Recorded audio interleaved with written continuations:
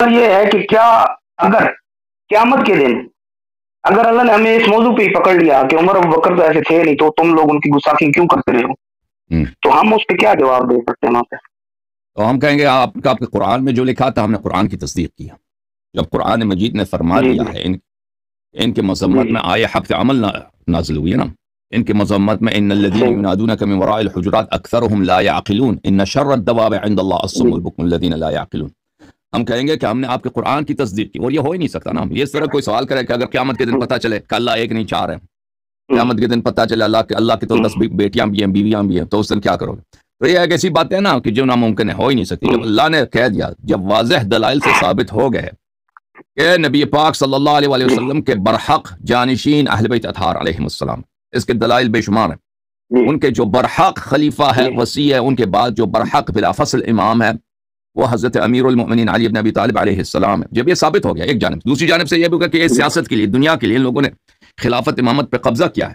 اور ان کا ان کا ان کے ہم نے آپ کی اپنی کتابوں سے ان کے کارنامے ثابت کیے ہیں۔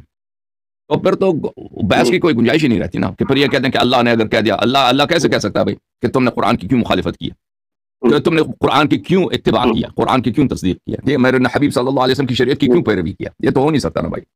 ٹھیک ہے نا بھائی؟ صحیح ہوا اور سر یہ پوچھنا تھا کہ رسول اللہ صلی اللہ علیہ وسلم نے ہمیں بتایا کہ اللہ ایک ہے ہم نے مانا کہ اللہ ایک ہے۔ رسول اللہ صلی اللہ علیہ وسلم کے ہوتے ہوئے حضرت بکر عمر عثمان صاحب موجود تھے۔